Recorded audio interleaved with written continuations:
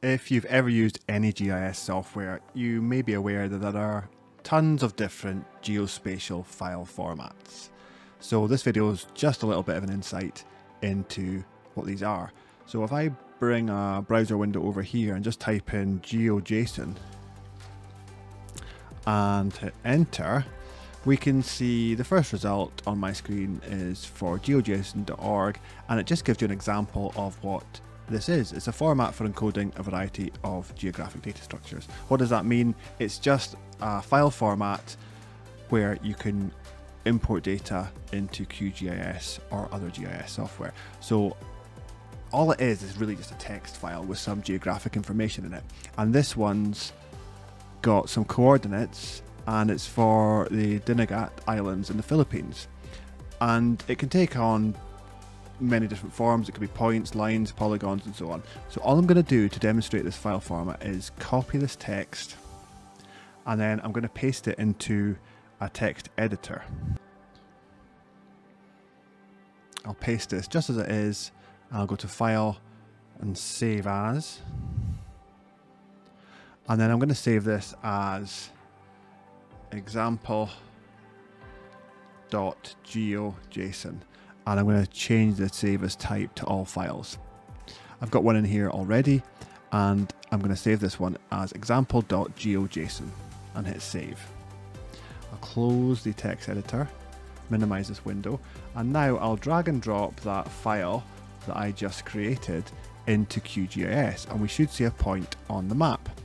There we go. Now if I click on that point, with my identify tool, we can see the properties, the Dinagat Islands, and let's zoom to that. Let's zoom right in, and we can see where this is. Now, if we want this data in a different format, and again, this is just for a point, but it could be done with points, lines, or polygons. It's in GeoJSON format, but you'll see on the map it doesn't look any different, whether it was a shapefile or a geo package or a KML. It will all look the same in QGIS. But if I do want to save this as a shapefile, for example, I can go to right click on the layer, export, and then save features as. And what I'll do is I'll now save this in different formats, and then I'll show you me adding them to QGIS. So the first one I'll save as a geo package, then I'll choose Esri shapefile, and I'll do a couple more. So let's do that now. I'm going to save this as a geo package. I'll click the browse button. I'll put it in my file formats folder. I'll call this one Dinagat and I'll hit save and with the geo package format, you're also going to get a layer name. You don't need to change it, but I usually usually I make my layer name. Whoops. I usually make my layer name the same as my file name. And I'll click on OK. And because the add saved file to map box is ticked, when I click OK, it will add this geo package to the map. And like I said, it's not going to look any different, but it's just a different file format. So let's hit the original example, GeoJSON, right click, export, save features as. Let's save it as an Esri shapefile. I'll click the browse button. I'll call it the same name. I'll click save. I'll click OK. And then we've got that layer in as a shapefile. And if I go to the example file, right click, export, save features as, let's save this as a KML file. Same name again. Click on save. And also with KML, you get a layer name and a file name. So I usually like to make these the same. It doesn't matter if you do. I'll click OK and then add layers.